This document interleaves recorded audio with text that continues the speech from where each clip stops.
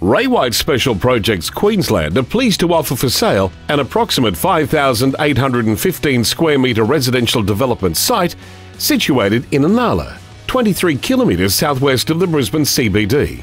The site has development approval for 22 detached small lots on a group title scheme with three partially completed dwellings.